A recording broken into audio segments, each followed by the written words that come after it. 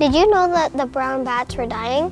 Our whole class was worried about the little brown bats.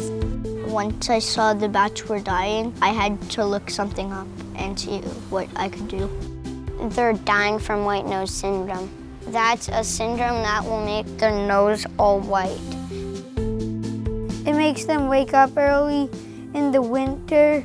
They're waking up to get more bugs to eat, but there's no more bugs, so they're basically dying of hunger.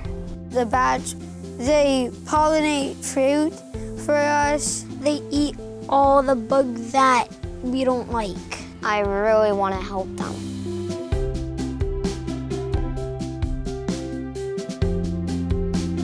The bug population is getting very high. There will be bugs all over us, biting us and everything. The farmers will put chemicals to so that the bugs won't eat the food and then when we eat it, we'll, we might get sick because of the chemicals. It's going to get really bad and the little brown bats will become extinct. We want to tell people that the little brown bat needs our help. What people can do to save the brown bats is like they can make like homes in their backyard. All you need is just like staples, glue, and then plank wood. We got it all from Home Depot. It won't be that hard actually.